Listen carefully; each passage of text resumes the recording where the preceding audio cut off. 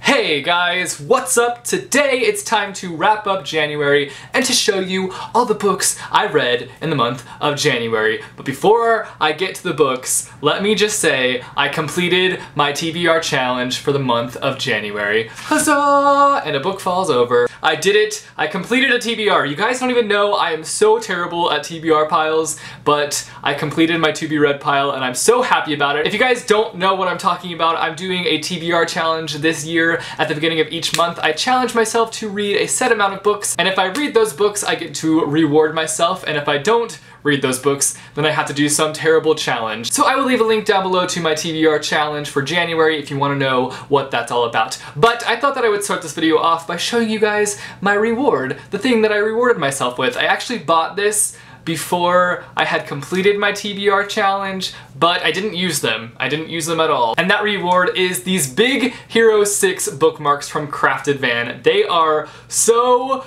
cool. Like, I am just obsessed with these suckers. If you don't know what Crafted Van is, it's this really awesome Etsy store that make these incredible bookmarks, and I'm just kind of obsessed with them right now. So I rewarded myself with these Big Hero 6 bookmarks, even though I bought them before I completed my challenge. I didn't use them, so now I can use them because I completed my TBR challenge. Ah. So now that that's out of the way, let's get started. I'm going to show you guys the books I read in the month of January. The first book I read this month was actually a graphic novel, and that was, whoa, Blankets by Craig Thompson. This graphic novel was not what I expected it to be. Going into this, I thought that it was just going to be about a relationship that takes place during the winter time because the cover leads you to believe that that's what it's going to be about, but it was so much more than that. It has a major focus on religion, which was really interesting, and it's also just kind of about this guy trying to figure out who he is and what he's all about and what he wants to do with his life. I don't think I was necessarily sold on the story, but I loved the artwork inside this graphic novel. It was so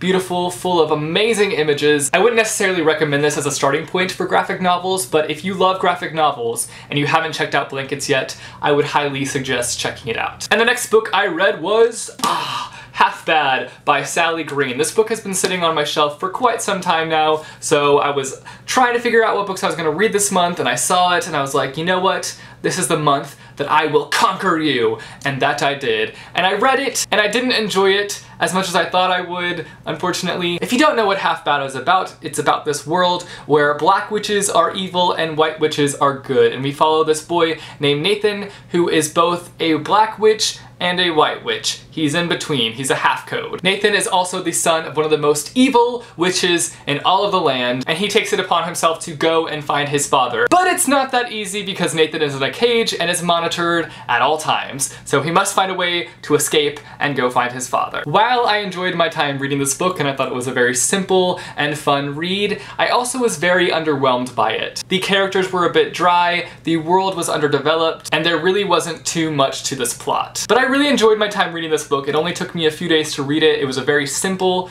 read, and I'm glad that I read it, and I will be continuing on with this trilogy. Also, I did a full-fledged book review on this video, so if you want to check that out, then click on this book and it'll take you to that review. Click it, click it, click it. Click it. Click it. Then I read the graphic novel!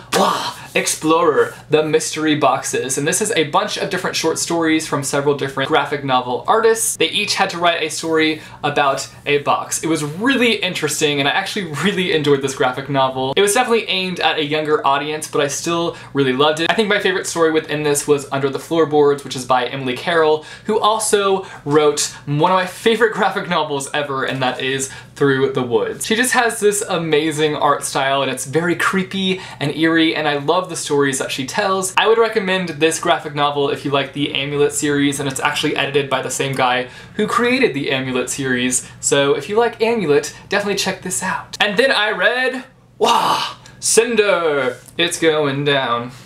I'm yelling Cinder. And this is a Cinderella retelling with cyborgs, and it's awesome. I love this book so much. I was not expecting to like this book at all. I was going into it like, eh, I don't think I'm gonna like that very much. I was very hesitant even picking this book up, but then I picked it up and I freaking loved it. It was so good. I actually did a full review on this, so if you want to go check that out, then click on this here book. It was fantastic. The characters are amazing, the world is so fascinating, and I'm definitely excited to continue on with this series. And then I read, The Boundless by Kenneth Oppel. And this book is about a boy named Will who goes on a journey on the world's longest train. It's just so long. And on this journey, he witnesses a murder, and the murderer, who's committing the murder, witnesses Will witnessing the murder. Did that make sense? I think it did. I hope it did. Anyways, this murderer then starts chasing after Will, so Will must find a way to hide and run away from this murderer while on this train. This was such an adventurous story full of mystery and magic, and I thoroughly enjoyed my time reading it. I think the one thing that I didn't like about it was the pacing is a little bit slow, but other than that, it was really great, and I did a full review on this book as well, so if you want to clickety click on this book, it'll take you to a review that I did for The Boundless. Yes. And the last book I read was the best book I read all month, and that is, ah, Mistborn, The Final Empire by Brandon Sanderson. Oh my heck, this book blew my brains. It just blew my brains out. I read this for the Booksplosion, Mistsplosion read-along this past month, and I'm so glad we picked this as the book of the month because it just pushed me to read it, and I'm so glad that I finally read it. I wish I would have read it sooner because it was just so good. The characters are amazing, so amazing, the best, and they're such great character development through this book. I can't even tell you, the character development that you see is just incredible. And the magic system is crazy amazing. The magic system is so cool. It's called Allomancy and basically these people ingest metals and then these metals give them abilities and it's just so cool. Go read this book if you haven't read it. I did a full review on this book so if you want to go check that out then click on this book and go watch it and go buy this book and read it because it's amazing, it's amazing, it's amazing. So those are the books that I read in the month of January. You guys let me know down below what your favorite book was that you read in the month of January. Thanks for watching guys and I will see you soon with a new video. Later. Stay up. I will leave a link below to my TBR challenge for January. You guys can go Ah, stay up, you little turd. So I will leave a link down below to my TBR challenge for January. So now that that's out of the way, let's get started with my wrap up. Ah, ah, ah,